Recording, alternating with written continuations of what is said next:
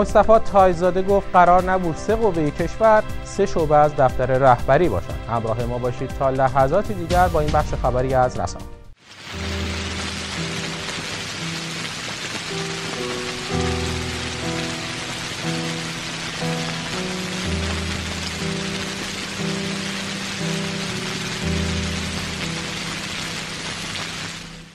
عرض سلام و شب بخیر داریم خدمت شما بینندگان محترم رسا با اخبار 17 فروردین ماه در خدمت شما هستیم. من هم سلام و شب بخیر میگم به همه شما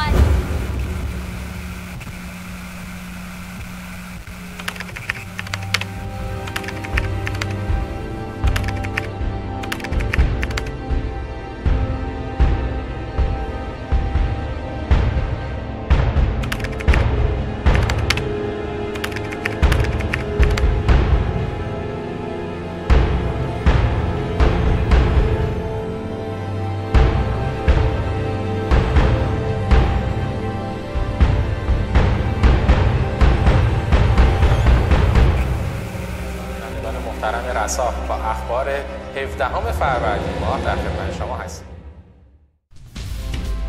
با اخبار هفتم آذر ماه از رسا رسانه سبز ایران در خدمت شما هستیم و اما مهمترین عناوین این بخش خبری.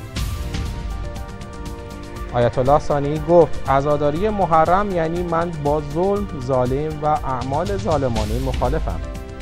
هاشمی رفسنجانی گفت دولت اگر توانی دارد دانشگاه های جدید بسازد. و توصیه آیت الله بیات زنجانی به عفو و بخشش در مورد محیطبان دنا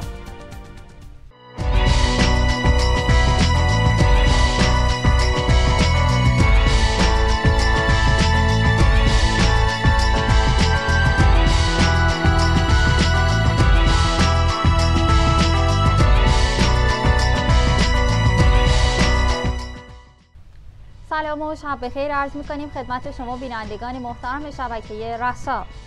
امیدواریم که تا پایان این بخش خبری ما را همراهی کنید. من هم عرض سلام و شب بخیر دارم خدمت شما بینندگان محترم. همراه ما باشید تا پایان این بخش خبری. اخبار امشب را آغاز می‌کنیم با سخنان جدید سید مصطفی تایزاده عضو دربند سازمان مجاهدین انقلاب اسلامی. مصطفی تایزاده گفت قرار نبود سه قوه کشور سه شعبه از دفتر رهبری باشد. مصطفی تاجزاده که همچنان در زندان به سر می‌برد رفتار فعلی در حکومت ایران را مغایر با خواست مردم در انقلاب دانسته است.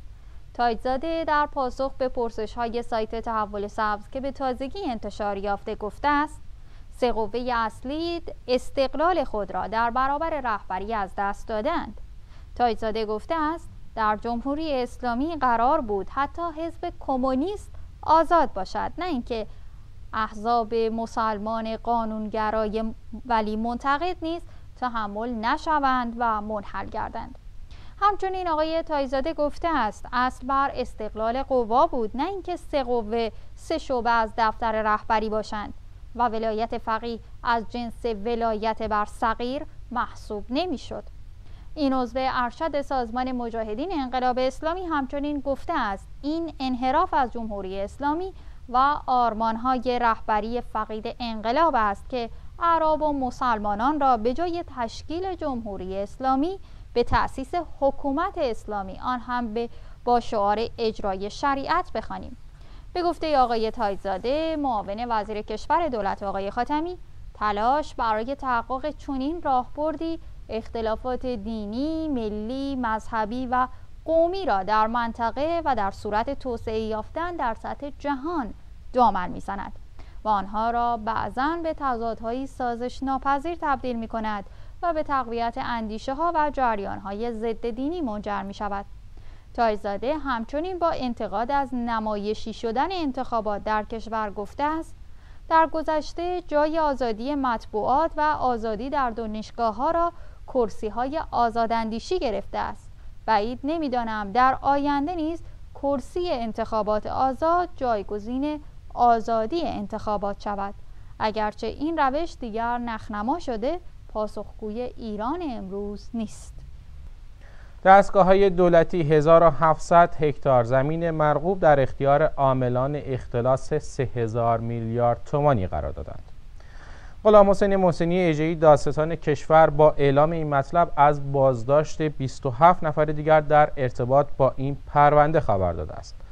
ایجهی یک شنبه شب در مصاحبه با شبکه دوم تلویزیون همچنین از صدور قرار مجرمیت برای 50 نفر در این ارتباط سخن گفت. ایجهی گفته است که این اقدامات حاصل حسابرسی از چهل شرکت وابسته به اختلاسگران است. ایجهی همچنین گفته است برای برخی پروژه های این گروه طبق اسناد و مدارکی که سازمان های دولتی ارائه کردند حدود 1700 هکتار زمین تصویب شده که به این شرکت داده شود. ولی این موضوع به این معنا نیست که سند مالکیت هم خورده باشد. به گفته ایجهی بخش زیادی از این زمین ها اجاره بوده بخشی تصویب شده اما داده نشده. بخش دیگری مشروط به اجرای پروژه بوده و برای بخشی هم سند صادر شده است.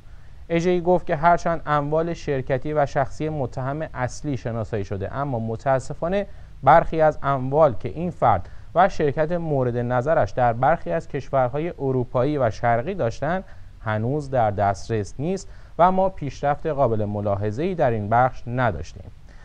ماجرای اختلاس 3000 میلیارد تومانی از شبکه بانکی کشور حدود سه ماه پیش فاش شد که به گروه آریا تحت ریاست امیر منصور آریا نسبت داده شد.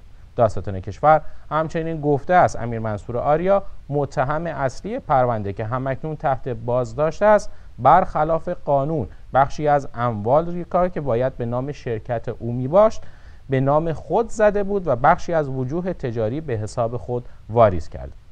آیت الله ثانی گفت عزاداری محرم یعنی من با ظلم ظالم و اعمال ظالمانه مخالفم. آیت الله حزما ثانعی با تاکید بر اینکه خداوند از کمک به ظلم به جامعه و مردم نمیگذرد بار دیگر تاکید کرد رضایت به ظلم ظالم معادل شرکت در ظلم است. بر اساس گزارش دفتر آیت الله ثانعی این مرجع تقلید همچنین خاطر نشان کرد توبه ظلم به جامعه و مردم از تغفر الله گفتن نیست راضی کردن صاحبان حق و مردم مظلوم است. آیت الله ثانعی با یادآوری اینکه امام حسین علیه السلام تا زمان شهادت هم به مردم آگاهی داد و هم آزادی و همچنین هیچ وقت به دنبال تخدیر و سوء استفاده از مردم نبود رفتار امام با همراهان و دشمنانش را متفاوت با جنگ طلبی و خشونت طلبی و حاوی درس های انسانیت، کرامت و حقوق بشر توصیف کرد. این مرجع سقلی در آستانه فرارسیدن ماه محرم الحرام با بیان اینکه حادثه آشورا تا ابد زنده خواهد ماند گفت یکی از اسرار زنده ماندن داستان کربلا این است که آن کسی که عزاداری می کند با گریه و با زبان عملش می گوید من با ظلم، ظالم و اعمال ظالمانه مخالفم. هاشمی رفسنجانی گفت دولت اگر توانی دارد دانشگاه های جدید بسازد. اکبر هاشمی رفسنجانی رئیس مجمع تشخیص مسلحت نظام گفته است دانشگاه آزاد هیچ وقت به تملک کسی در نیامده است مگر اینکه بیایند و اینجا را غصب کنند. به گفته آقای هاشمی رفسنجانی دانشگاه آزاد نهادی است که در خدمت دانش است و فعالیت فرهنگی دارد و دولت هم نمی‌تواند بیشتر دانشگاه بسازد. به گزارش خبرگزاری ایلنا رئیس مجمع تشخیص مسلحت نظام تاکید کرد که هنوز هم مدارس کفری در شهرهای محروم داریم. هاشمی با تاکید بر اینکه جامعه‌ای که به سواد و دانش برسد شکست نمی‌خورد خاطر نشان کرد. مگر اینکه با مقررات نادرست دانشمندانشان را فراری دهند چرا که اگر دانشمند باشد جای خود را باز می کند رئیس مجمع تشخیص مسئلات نظام همچنین گفته است افراد پر ادعا و نمک نشناس پیدا شدند که گذشته را فراموش کردند. امید است که دانشگاه آزاد کار خود را با موفقیت انجام دهد. آیت الله بیات زنجانی در مورد محیطبان دنا گفت به طبع قرآن توصیه به عفو و بخشش می‌کنیم. آیت الله بیات زنجانی در پاسخ به استفتایی درباره حکم محیطبانی که بنا بر وظیفه شغلی مسلح بوده و در حین انجام مأموریت به صحو باعث قتل انسانی شود به طبع قرآن توصیه به عفو و بخشش کرده است. به گزارش کلمه این مرجع تقلید افسوده است. قرآن کریم هم توصیه به قصاص نفرموده بلکه عفو و اقماز را بهتر و اخلانی تر می اسد تقیزاده محیطبان اداره کل محیط زیست استان کهگیله و بویر احمد متهم است که در سال 1386 هنگام محافظت از حیات وحش منطقه حفاظت شده دنا مرتکب قتل شده است. او از چهار سال پیش تا کنون در زندان به سر می‌برد. خانواده تقیزاده و اداره کل محیط زیست قتل را غیر عمدی می‌دانند.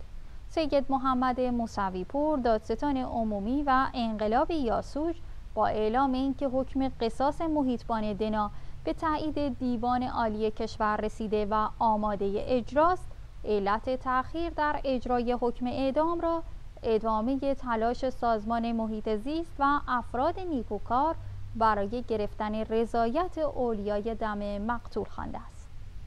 آریا آرام نژاد هنرمند و آهنگساز مردمی به انفرادی زندان بابل منتقل شد. به گزارش کلمه در روزهای گذشته آریا آرام نژاد از بند انفرادی بازداشتگاه شهید کچویی اداره اطلاعات ساری به بند انفرادی زندان متکلای شهرستان بابل منتقل شد. یک منبع محلی گفته که بند انفرادی زندان متکلای متکلای بابل یک کنیم در دو متر و از لحاظ امکانات بهداشتی در سطح پایینی است این بند محل نگهداری مجرمین خطرناک و همچنین مجرمینی که دچار تخلف در بند عمومی زندان متکلا شدند می باشد. بر اساس این گزارش آریا آرام نژاد به دستور مقامات امنیتی و اطلاعاتی و دادستان شهرستان بابل ممنوع ملاقات و ممنوع از تماس تلفنی می باشد. آریا آرام نژاد در پی هجوم ماموران امنیتی به منزلش مورد ضرب و شد قرار گرفته و بازداشت شده است. این هنرمند جوان و آهنگساز نام آشنای هوادار جنبش سبز پس از آشورای 1388 هم پس از انتشار ترانه‌ای با عنوان علی برخیز که با استقبال قابل توجهی روبرو شد برای حدود 50 روز بازداشت شد. آریا آرام نژاد همچنین اواسط آبان ماه سال جاری برای بار دوم بازداشت شد.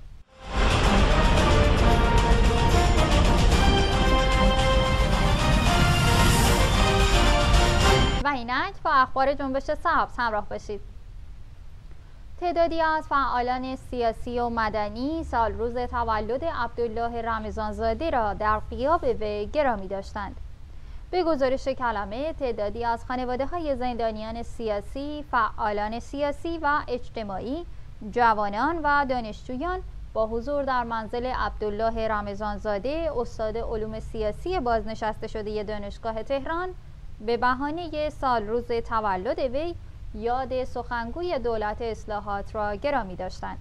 بر اساس این گزارش همسر آقای رمضانزاده با تشکر از حاضرین ابراز امیدواری کرد که هرچه زودتر همه زندانیان سیاسی آزاد شده و به نزد خانواده هایشان بازگردند که آنها بهترین نیروها هستند که به جای استفاده از استعدادها و خدماتشان به زندان انداخته شدند.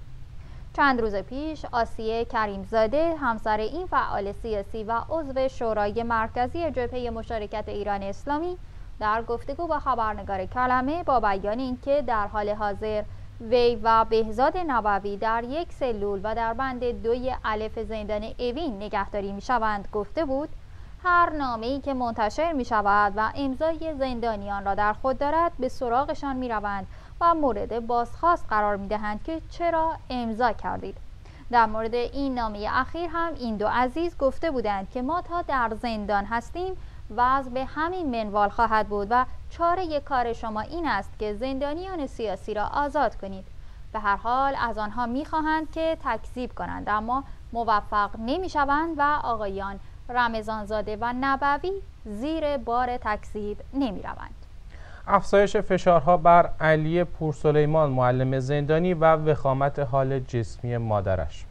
خبر انتقال ناگهانی علی پورسلیمان معلم زندانی و فعال سنفی معلمان از بند 350 به بند 209 وزارت اطلاعات مادر این زندانی سیاسی را دچار شوک عصبی و روانی بیمارستان کرد. به گزارش کلمه علی پورسلیمان پنج روز بعد از نقل و انتقالش به دلایلی کاملا نامشخص دوباره از بند 209 به بند 350 بازگردانده شد. اما اطلاع از وضعیت جسمی مادرش وی را به شدت نگران کرده است. این عضو شورای مرکزی سازمان معلمان ایران در تاریخ 11 خرداد سال جاری بازداشت شد. او در هنگام بازداشت چنان مورد ضرب قرار گرفت که از ناحیه سر و سطور فقرات دچار آسیب های جدی شد تا جایی که بلافاصله بعد از بازداشت به بیمارستان خاتم الانبیا و سپس از آنجا راهی بند دوی الف متعلق به سپاه پاسداران شد. چهار عضو زندانی نهضت آزادی ایران به بازپرسی مستقر در محل زندان اوین احزار و بازجویی شدند. به گزارش کلمه محسن محققی محمد فرید تاهری قزوینی امیر خورم و اماد بهاور چهار زندانی سیاسی هستند که به خاطر امضای نامه با عنوان نامه 143 فعال سیاسی خطاب به سید محمد خاتمی رئیس جمهور پیشین کشورمان بازجویی و تهدید شدند. این چهار عضو نهضت آزادی که از امضا کنندگان نامه مذکور هستند همکنون در بند 350 زندان اوین به سر می‌برند. پاسپورت شعبه سوم امنیت دادسرای زندان اوین ضمن بازجویی از این چهار عضو زندانی نهضت آزادی ایران از این زندانیان خواسته است که امضاهای خود را تکذیب کند. اما این خواسته بازپرس با مخالفت این زندانیان سیاسی مواجه شده است. برگزاری مراسم فروهرها در بند 350 زندان اوین مراسم سالگرد جان باختن داریوش فروهر و پروانه فروهر در بند 350 اوین به همت فعالان دانشجویی، حقوق بشری، اعضای زندانی احزاب ملی و گروه های ملی مذهبی، زندانیان مستقل و با حضور گسترده زندانیان 350 برگزار شد. به گزارش کلمه در این مراسم که با سخنرانی علیرضا رجایی، علی رشیدی، قاسم شول سعدی، محمد سیف زاده و محمد صدیق کبودوند همراه بود سخنرانان در محکومیت قتل‌های زنجیره‌ای ابعاد حقوقی پرونده و باز تولید باندهای قتل‌های زنجیره‌ای صحبت کردند و به ذکر خاطراتی از داریوش فروهر پیروز دوانی، مجید شریف، محمد مختاری و محمد جعفر پوینده پرداختند. محمد رشید هدایتی از فعالان دانشجویی دانشگاه آزاد اصفهان بازداشت شد. به گزارش کمیته گزارشگران حقوق بشر محمد رشید هدایتی از فعالان دانشجویی دانشگاه آزاد اصفهان بعد از ظهر روز سهشنبه اول آذر ماه امسال باز ضرب و شتم بازداشت و به محل نامعلومی منتقل شده است. شاهدان عینی و فعالان دانشجویی گزارش دادند که یکی از بازداشت شدگان ببخشید یکی از بازداشت کنندگان این فعال دانشجویی مسلح به بیسیم و از مأموران شاخص لباس شخصی دخیل در بازداشت معترضین بعد از انتخابات سال 88 و همچنین رخدادهای دو سال اخیر در اصفهان و نجف آباد مربوط به سرکوب معترضین به نتایج انتخابات و حامیان مرحوم آیت الله منتظری در جریان مراسم تدفین و سالگرد وی بوده است. پیش از این منابع خبری گزارش داده بودند که محمد رشید هدایتی در جریان حوادث بعد از انتخابات ریاست جمهوری و بعد از مراسم بزرگداشت مرحوم آیت الله منتظری مورد ضرب و شتم و بازداشت مأموران اداری اطلاعات شهرستان نجف آباد قرار گرفته و به مدت دو هفته در بازداشت به سر برده است. مادر مهدی محمودیان می‌گوید سلامتی زندانیان سیاسی در زندان رجای شهر در خطر است. مهدی محمودیان چندی پیش به علت وخامت شرایط جسمانی از زندان رجایی شهر به بیمارستان انتقال یافت و پس از عمل جراحی مجددا به زندان رجایی شهر بازگردانده شد این در حالی است که او باید دوران نقاهت خود را در شرایط مناسب و خارج از زندان بگذراند. اما تاکنون دوندگی های خانواده او برای مرخصی به نتیجه نرسیده است. فاطمه الوندی مادر مهدی محمودیان در خصوص آخرین وضعیت فرزندش به جرس می‌گوید روز پنجشنبه پدرش با او ملاقات داشت که شکر خدا حالش بهتر بود و از قرنطینه به بند منتقل شده بود. به گفته وی دکترها گفتند اگر آقای محمودیان در هوای آزاد نگهداری نشود و در فضای بسته و غیر بهداشتی بماند امکان برگشتن ناراحتی هایش زیاد است. مادر این روزنامه‌نگار اصلاح طلب با اشاره به محرومیت فرزندش از حقوق اولیه یک زندانی سیاسی می‌گوید در عمل جراحی که بر روی مهدی انجام دادن یک قسمت از رودهش را برداشتن که علت این مشکل هم اعتصاب غذا و ضربه هایی است که در زندان به او می‌زنند.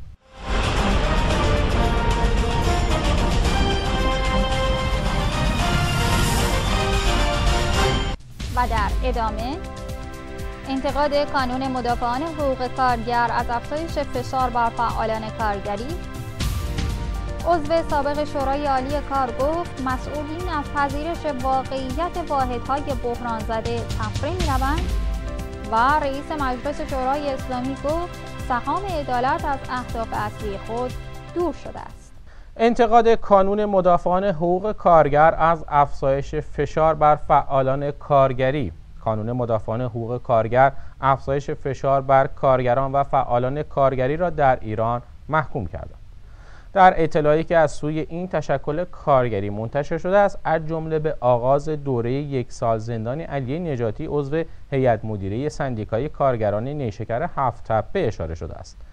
بر اساس گزارش ها آقای نجاتی در حالی زندانی شد که به تازگی عمل جراحی بر روی قلب او انجام شده بود و این در شرایطی است که او نیاز به استراحت و مراقبت پزشکی دارد.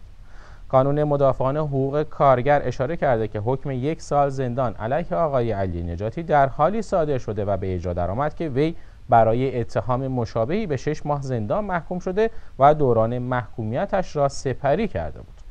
کانون مدافعان حقوق کارگر همچنین از تایید حکم 22 سال و 6 ماه زندان برای فعالان کارگری و دانشجویی تبریز شاهرخ زمانی عضو هیئت بازگشایی سندیکای نقاشان محمد جراحی نیما پور یعقوب و سامان واهبی وش انتقاد کرد. بیشتر نیز سندیکای کارگران شرکت واحد اتوبوسرانی تهران و حومه به نقل از خانواده رضا شهابی عضو هیئت مدیره این تشکل کارگری اعلام کرده بود که او یک شنبه هفته گذشته از زندان اوین به بیمارستان شهید عراقی تهران منتقل و بعد از معاینات پزشکی به این زندان بازگردانده شد. آقای شهابی در 22 خرداد 1388 بازداشت و با وجود برگزاری دادگاه به رغم تامین وسیقه هنوز زندانی است. به نوشته سایت کلمه پزشکان متخصص گفتند که قضروف بین تعدادی از مهرهای ستون فقرات رضا شهابی آسیب دیده است. در عین حال او از درد شدید در ناحیه گردن کمر و دست رنج می‌برد. به نوشته سندیکای کارگران شرکت واحد اتوبوسرانی تهران و حومه پزشکان متخصص گفتند که آقای شهابی باید تحت عمل جراحی قرار بگیرد اما او اعلام کرده است تا تعیین تکلیف پروندهش اجازه جراحی را نخواهد داد عضو سابق شورای عالی کار گفت مسئولین از پذیرش واقعیت واحدهای بحران زده تفره می روند. مسئولین از ارائه آمار مستند در ارتباط با واحدهای تولیدی بحران زده اجتناب می کنند. اسقر بروشان در گفتگو با ایل نازم تایید این مطلب با بیان اینکه اکثر کارگران واحدهای مختلف تولیدی و خدماتی قرارداد موقت هستند گفت هم واحدهای تولیدی بحران زده و هم نیروی کار اخراج شده از ارائه اعلام آمار رسمی از واحدهای بحران زده اجتناب می کنند. عضو سابق شورای عالی کار همچنین گفته است ارائه آمار و مستندات از واحدهای بحران زده با مخالفت کارفرمایان و وزارت کار مواجه می شود. معاون اجتماعی سازمان بیسیسی گفت اعتباری برای ساماندهی کودکان کار وجود ندارد. معاون اجتماعی سازمان بیسیسی گفت در حالی به سنف پزشکان، مهندسان و طلافروشان یارانه داده می شود که به بسته حمایتی کودکان کار و ساماندهی آنان اعتباری تعلق نمی گیرد. محمد علی زنگانه در گفتگو با ایسنا با بیان اینکه در ظاهر اجرای هسته هدفمندی یارانه ها ارتباطی به آسیب های اجتماعی ندارد اظهار کرد این در حالی است که این امر در بروز آسیب های اجتماعی موثر است. معاون سازمان بهسیسی گفت قرار بود با اجرای طرح هدفمندسازی یارانه ها دهک های برخوردار به نسبت کمتری از منابع این طرح برخوردار شوند و دهک های پایین که به خاطر فقر اقتصادی، فرهنگی، اجتماعی در معرض آسیب های بیشتری هستند بهره بیشتری ببرند اما این امر در عمل محقق نشده است. زنگانه همچنین گفت در حال حاضر 50 هزار کودک کار و خیابان کارگران جنسی دختران در معرض آسیب و خانواده های معتادان بهبود یافته نیاز به بسته های حمایتی سازمان هدفمندی یارانه ها دارند اما از آن محروم هستند. معاون اجتماعی سازمان بهزیستی در ادامه عنوان کرد در حال یارانه طرح هدفمندی یارانه ها به ساکنان پنت هاوس ها پرداخت می شود که خانواده های کودکان کار و خیابان به خاطر فقر اقتصادی کودکانشان را به عنوان وسیله درآمدزایی تا 11 شب در چهارراه می‌گذارند و از دریافت یارانه محروم هستند. رئیس مجلس شورای اسلامی گفت سهام عدالت از اهداف اصلی خود دور شده است. علی لاریجانی در دیدار با جمعی از مدیران شرکت های سرمایه گذاری و اتحادیه های سهام عدالت کشور با بیان اینکه سهام عدالت از اهداف اصلی خود دور شده است گفت باید وضعیت دولتی و خصوصی بودن شرکت های سرمایه گذاری سهام عدالت مشخص شود. به گزارش ایسنا رئیس مجلس افسود فلسفه اصلی شرکت های سرمایه گذاری سهام عدالت سهامی عام است و باید شکل سهام این شرکت ها مشخص شود. وی ادامه داد شرکت های سرمایه گذاری سهام عدالت باید سهم مردم شوند و از دولتی شدن این شرکت ها جلوگیری شود. رئیس مجلس با بیان اینکه نحوه فعالیت شرکت های سرمایه گذاری و سهام عدالت باید مجددا بررسی شود تصریح کرد. اعضای کمیسیون ویژه نظارت و پیگیری اصل 44 قانون اساسی سریعا ایرادهایی را در این زمینه برطرف کنند. رئیس مجلس شورای اسلامی افسود تغییر ماده ای از قانون برنامه پنجم توسعه بسیار سخت است و باید راهکارهای مناسب تری را برای برطرف کردن مشکل سهام عدالت بررسی کرد. دبیر سیاسی بسیج دانشجوی دانشگاه تربیت معلم می‌گوید فضای دانشگاه ها باید سیاسی شود. در حالی که تعداد زیادی از فعالان دانشجویی تنها به دلیل فعالیت های سنفی و سیاسی در دانشگاه ها همکنون در زندان به سر می‌برند دبیر سیاسی بسیج دانشجوی دانشگاه تربیت معلم ادعا کرد جنبش دانشجویی دچار رکود سیاسی نگران کننده ای است و فضای دانشگاه ها باید سیاسی شود. به گزارش خبرگزاری ایسنا اماد قبادی با بیان اینکه جنبش های دانشجویی در مسائل مختلف سیاسی، فرهنگی و علمی ورود کردن ابراز عقیده کرد. جنبش دانشجویی در طول مدت فعالیت خود دچار فراز و فرودهایی بوده است و در هر مقطعی دستاوردها و نقاط ضعفی داشته. اما مهمترین دستاورد آن این بوده که خود را به عنوان یک قشر تاثیرگذار معرفی کرده است.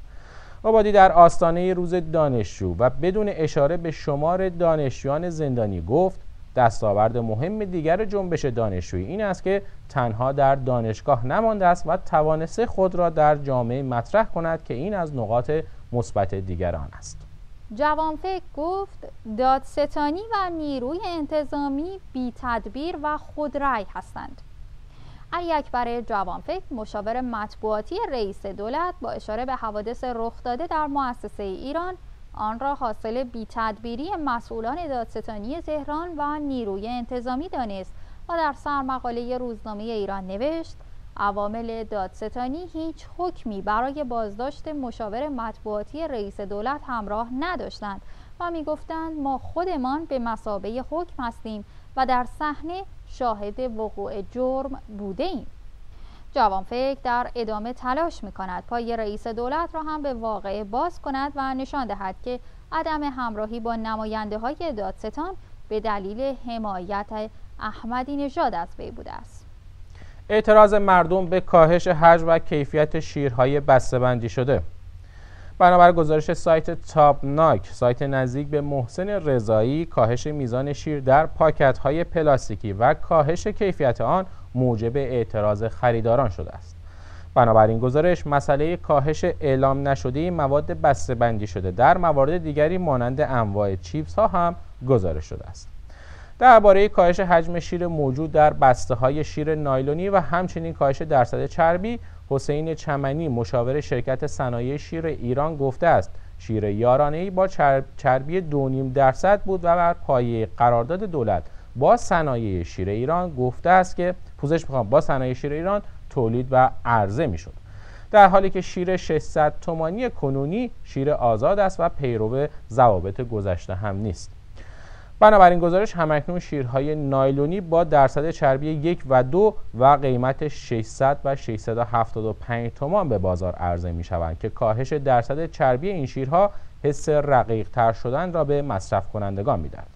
در ماهای گذشته صاحبان صنایع شیر کشور از بی‌اعتنایی دولت به پرداخت یارانه تولیدی گلایه کردند که قرار بوده است پس از اجرای طرح هدفمند کردن یارانه ها پرداخت شود. واکنش بریتانیا به اقدام ایران در کاهش روابط. در حالی که مجلس به کاهش روابط کشور با بریتانیا رأی داده است بریتانیا گفته واکنشی قاطعانه به اخراج سفیر خود از تهران نشان خواهند داد. روز گذشته نمایندگان مجلس با 179 رأی موافق، چهار رأی مخالف و 11 رأی ممتنع کلیات طرح توفوریتی کاهش روابط با بریتانیا را مورد تصویب قرار دادند. این حرکت واکنشی است به همکاری های بریتانیا با جامعه جهانی و آمریکا که در جهت اعمال فشار بر سر برنامه های هسته ایران و به خاطر عدم مطابقت از قطنامه های شورای امنیت سازمان ملل متحد صورت می گیرند. به موجب مصوبه مجلس سطح روابط اقتصادی دو کشور به حد اقل ممکن می رسد روابط دیپلماتیک به سطح کاردار تقلیل می یابد و سفیر بریتانیا پست خود در تهران را ترک خواهد کرد. به موجب این مصوبه ایران هم سفیر خود از لندن را فرا خواهد خواند. در یک اطلاعیه منتشر شده از سوی وزارت خارجه بریتانیا اقدام ایران برای کاهش روابط دیپلماتیک اقدامی تأسف‌آور توصیف شده است. در این اطلاعیه آمده است که این اقدام غیر موجه به ایران جهت مقابله با انزوای فضایندش یا پاسخگویی به نگرانی های بین المللی و وضعیت حقوق بشر کمکی نخواهد کرد. در ادامه این بیانیه آمده است اگر ایران در راستای عملی کردن چنین تصمیمی حرکت کند ما پس از رایزنی با شرکای بین المللی خود واکنش قاطعانه به این حرکت نشان خواهیم داد. در این قسمت با گفتگوی ویژه خبری رسا همراه باشید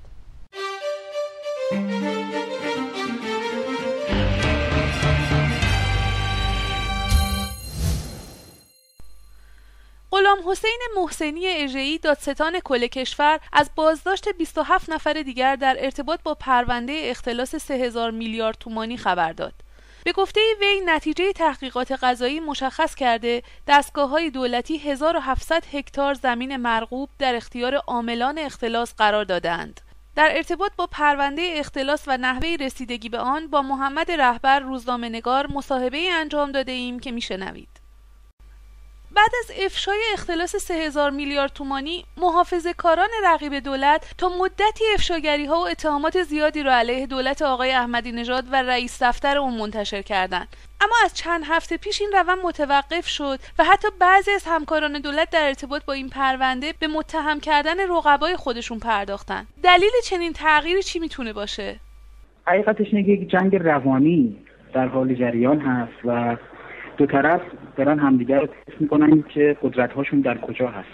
این جنگ روانی رو ما همین هفته پیش ناظرش بودیم در روزنامه ایران و آقای جوانفکر مقاومتی کردن در مقابل کسانی که دادگستری برای دستگیری ایشان آمده بودند و در نهایت هم با تشرهای آقای احمدی نژاد ماجرا به نفع همون جریانی که ازش به عنوان جریان انحرافی یاد می‌کنند تمام شد. اما این آخر کار نبود. آقای اشعی الان گفتن که محتمل هستش که بعضی ها رو در دولت دستگیر کنند و این دوباره یک حمله شفاهی است تا برسه به عمل که ببینیم که آیا می توانند دستگیر کنند کسی رو به اتهام اختلاس سه هزار میلیارد تومانی در دولت یا نه. آقای رهبر به نظر شما سرنوشت رسیدگی به پرونده اختلاس 3000 میلیارد تومانی چطور میشه؟ و در ارتباط با نحوه رسیدگی به این پرونده چه احتمالاتی رو میشه در نظر گرفت؟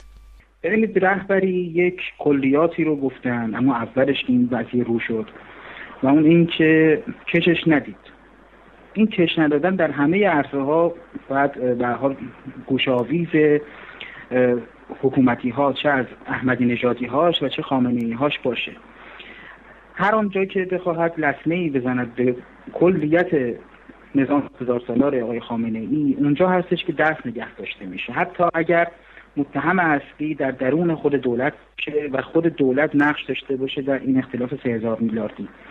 از اون طرف هم اگر بخواهند بیشتر بروند و یکی از ایادی رهبری در این اختلاس دستی داشته باشه ماجرا متوقف میشه. من فکر می‌کنم که عاقبت این اختلاس فراموشی سپرده میشه کما اینکه همه چیز در مملکت متاسفانه نسیان برقرار میشه. ولی احتمال میدم که به هر حال این وسط کسانی کسانی که میانه هستند و می‌توانند قربانی شوند و از افکار عمومی این اعتبار قوه قضاییه بگیره که برخورد کرده اونها این وسط قربانی می‌شوند. در حالی که شاید نفرات سوم و چهارم این دوزیه بزرگ باشند متشکرم از اینکه وقتتون رو در اختیار ما گذاشتین. ممنونیم که امشب هم با اخبار رسا ما را همراهی کردید. تا فردا شب خدا نگهدارتون. تا دیدار دیگر خدا